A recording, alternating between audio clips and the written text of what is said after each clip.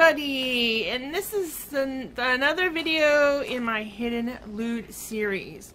Now, if you are in one of these uh, wasted hub city type deals, you will see little uh, pools of water every now and then.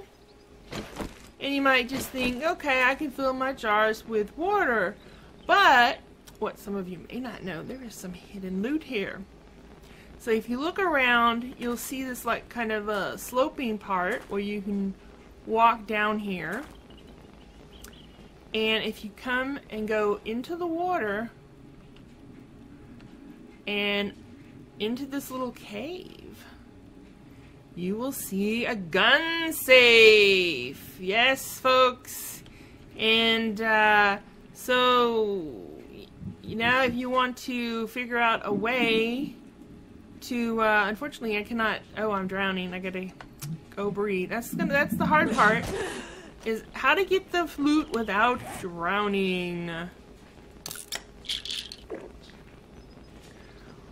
Well, I am going to show you how to do that, but first I will pause the video and then I will show you. Alright, what I did folks was, uh, I put frames around it. Well, I was trying to put frames around it and almost drowned. Uh, so I beat on the area that I uh, that was around it, that was above it, and it was very fragile and it all started crumbling. So I just hit at it until it was somewhat exposed, and then I put frames around to block off the water. So now I can get to the top of the safe and hit the safe.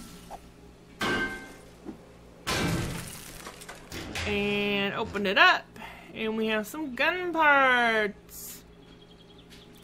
Alright that looks like a nice shotgun receiver. Shotgun stock.